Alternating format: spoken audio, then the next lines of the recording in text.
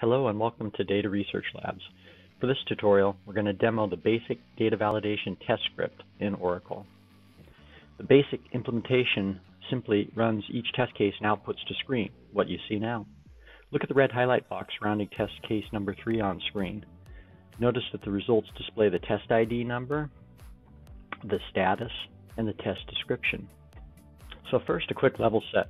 Let's open github.com slash data research labs and we're going to browse to the SQL scripts scroll down on the page go to the data validation scripts scroll down on the page. We're going to find Oracle and under Oracle we want the basic validation scripts. We're going to click that and we're going to work through the steps and how to use the validation script.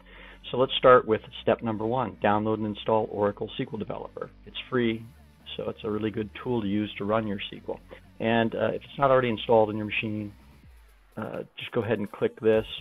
I'll pop it open.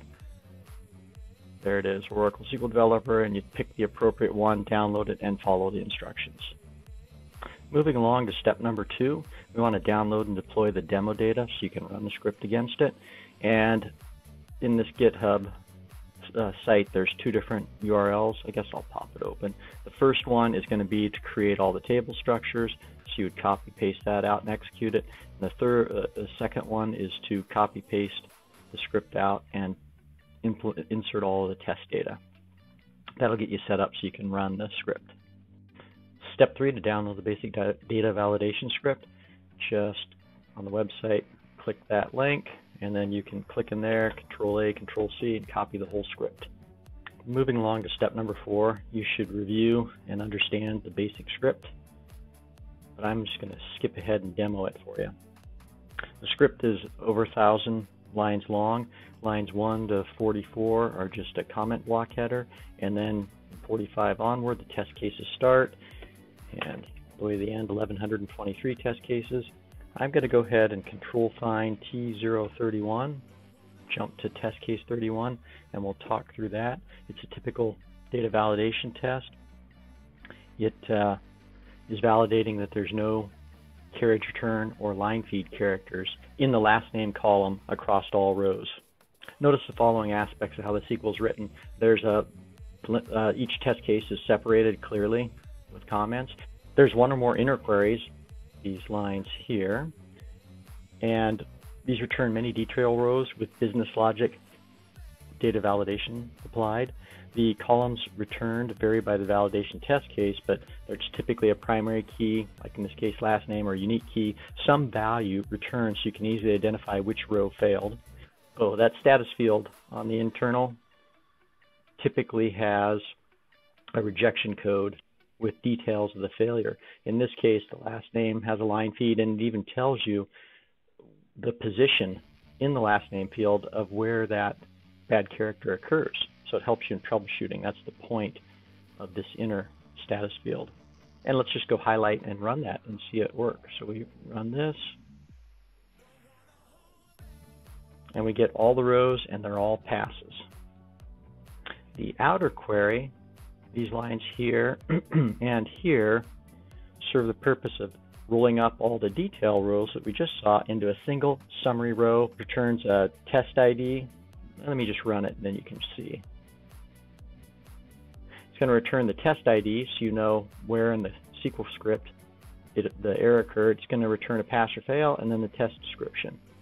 And if there were a fail, it would tell you, well, it would just say fail. In this particular basic script, it's not going to give you any other details than a fail, and it's up to you to come in here and highlight and run and look up the details. In the advanced script, which will be the next video, the output will actually tell you exactly what failed, exactly what the expected natural results were, etc. But the simple script doesn't do that because it keeps, that way it keeps the SQL tests simple. The advanced script is three or four times as big per test case. On to step number five, executing the basic data validation script. If you open SQL Developer, you have your script here. It's really important that you run this particular button, not this one, because this will run the entire script. This will just run what's highlighted. And then you get your test results down here that we've already discussed with the test ID status and description. So here we are, Oracle SQL Developer, script is loaded. And we're going to click this button. So let's do that. There we go. Now all of our results are nice and concisely laid out. And there we go. The test ID, test one, two, three, pass, description, etc. Get a nice automated test run with 66 test cases in it. And finally, the next steps, how to build your own data validation test scripts. So here's my recommendations.